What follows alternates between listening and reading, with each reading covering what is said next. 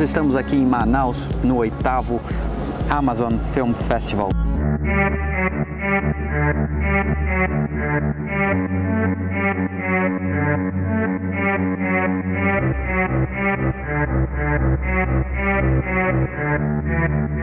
Nós vamos conversar hoje com a atriz e diretora Helena Inês e saber com ela como foi para captar recursos para o filme dela. Vamos lá. Vamos dar uma voltinha pela cidade?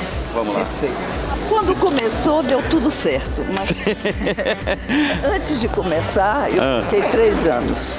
Três anos captando. Entrei do terceiro ano, Ah, comecei a ganhar todos os editais. Aí foi ótimo. Hum. Foram quatro editais em São Paulo.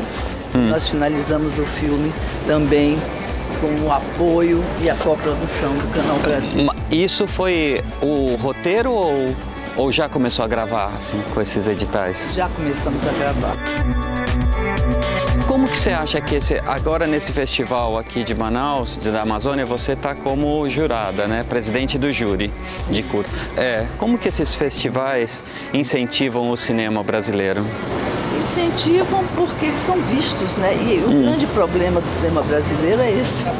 Não é visto? É, Ah, é encontrar seu público. e você acha que eles, além de incentivar o cinema na cidade mesmo, existe uma prolife- proliferação de, de mais cineastas? Claro, sem dúvida. Esses festivais também abrem outras possibilidades, como aqui, que vai ser criada uma escola de cinema, né? É, né? vai abrir em Então, é. 2013, né? Eu acredito que também seja pela força do festival e o prestígio que ele está tendo. É um festival internacional, isso é importante. É, né? É. Como que é a sua impressão de Manaus aqui? Manaus, bem, eu acho que, que ela é uma porta, né? Ah. Para algo extraordinário, né? Pra- É mesmo, né? é o epicentro do mundo, né? Que é a Amazônia. É. E Você acha que os alternativos, eles têm, ou novíssimos, eles têm chances de financiamento tanto quanto os mais comerciais? Ó, Eles estão tendo, né? Porque esses Ah. filmes estão aí. Alguns são já com, com- Existe uma certa verba, né? Ah. fazer.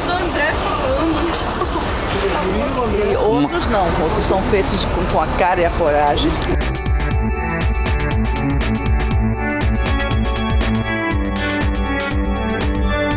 Ô Helena, a gente vai te agradecer, muito obrigado por Muito participar. obrigada. Tá bom? Obrigada. Até mais. Beijo. E aqui eu fico abandonada no meio da rua? Não, nós vamos com você até o carro.